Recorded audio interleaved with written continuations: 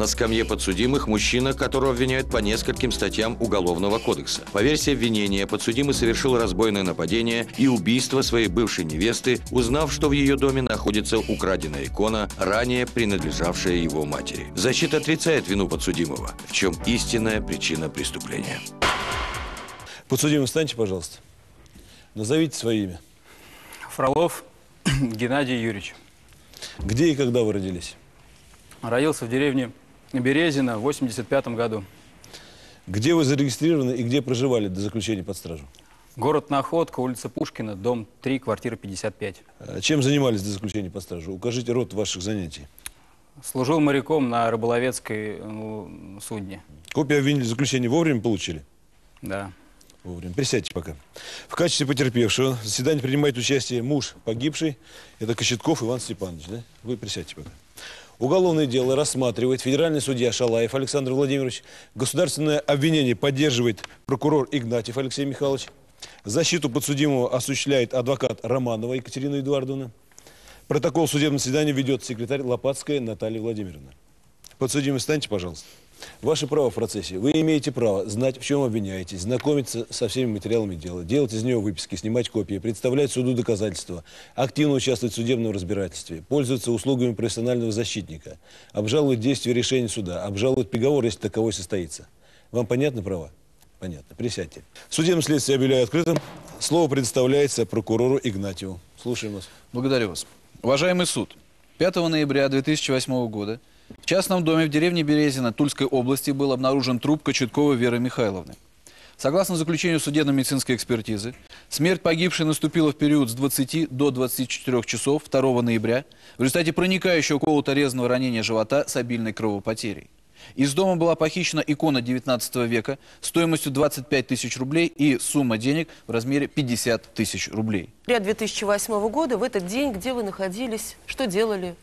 Докладывайте суду. В этот день э, я вернулся на свою малую родину. Это в районе 5 часов вечера.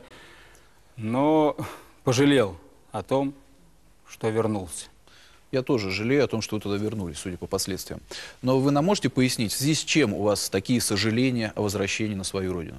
Я пять лет не был дома, потому что как в 2003 году ушел в армию, так меня домой как-то не случалось. То одно, то другое. И получилось, что я отслужил два года и на Дальнем Востоке остался. Там у меня была возможность работы. Я считаю, счастливый случай, потому что у меня в деревне я не могу найти работы. Я устроился на рыболовецкое судно моряком и три года рыбачил. Вот.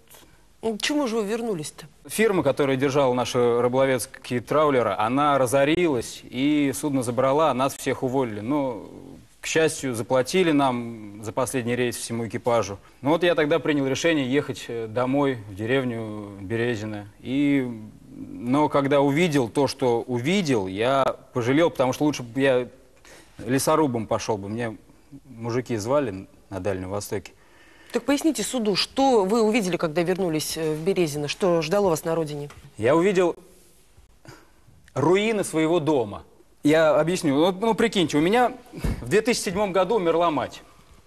Э, Мамаша у меня померла, а я не смог приехать на похороны, потому что был в рейсе, и когда э, приехал, мне сообщили, она уже как месяц была, царство небесное, захоронена. Ну, оставила родительница моя дом. Я, конечно, предполагал, что за год без хозяина с дома может что-то случиться. Да надо либо Но не до такой же тянуть, степени. Либо по морям за рублем длинным гоняться. Слушай, я, я, я твоего сейчас мнения не спрашиваю, ладно, что делать? Вот до другого хозяйства, до чужих, Не пререкайтесь, не Так, к пререкайтесь. порядку, к порядку, пожалуйста. И вы по сути.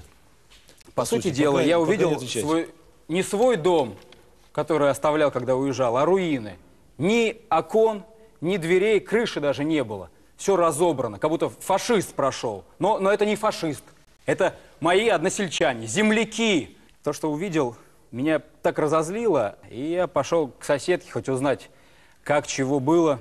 Ну, узнали? Вот. Но надо ей сказать спасибо. Она меня хоть как-то напоила, накормила, рассказала все, как было. И уже после этого я уже пошел к Четковым. Им- имя Это соседки назва- назовите, как ее звали? Бабзина Болотникова. И я пошел уже тогда после нее к Четковым. Это было уже достаточно темно, 9 часов вечера. Зачем вы к Кочетковым пошли? Да разбираться он к Верке моей пошел. Подождите, потерпел. Он еще дорогами гулял с ней. А тут ему баба Зина, видать, не рассказала, что она замуж за меня вышла. Вот он и пошел, пока меня дома нет, разбираться. Ваша честь, я, да, должен признаться, у меня, да, были отношения с Верой до того, как я уехал в армию. Но пять лет прошло. О каких отношениях можно говорить? Скажите, пожалуйста, подсудимый, так э, Болотникова не рассказала вам о замужестве Кочетковой? Да, она сказала, что она вышла замуж, я в подробности не вдавался. Она сказала то, что вот этот мародер э, у моей матери из дома икону спер, после, сразу после ее смерти. Вот это она Ага, сказала. много твоя баба Зина знает. Я не мародер. Я эту икону купил. Ну, вас никто не... Купил у мамы твоей. Потерпевший, мы вам дадим слово. Не мешайте пока допрос подсудимому. У меня еще будет вопрос. Да, конечно. Спасибо. Что же произошло, когда вы пришли в дом Кочетковых? Я постучал в дверь, Вера мне открыла.